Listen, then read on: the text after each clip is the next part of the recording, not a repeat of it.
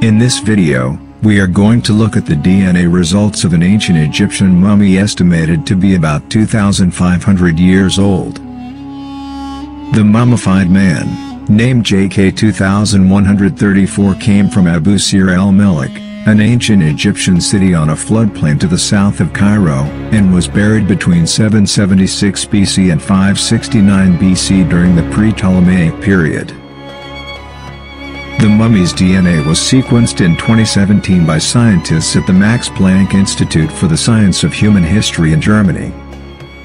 Genetic makeup of the mummy was closer to that of modern individuals in the Mediterranean or the Middle East than it was to modern Egyptians.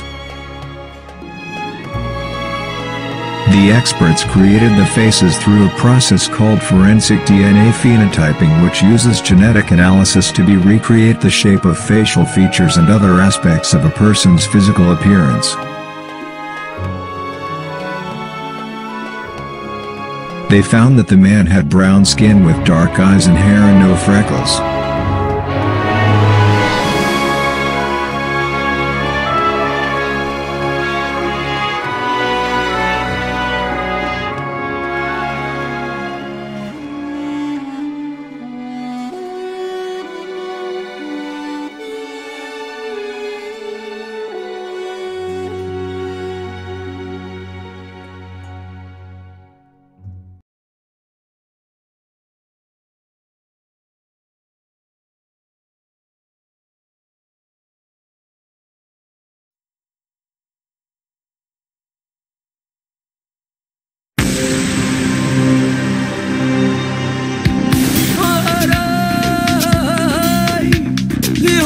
Efendi doğmuş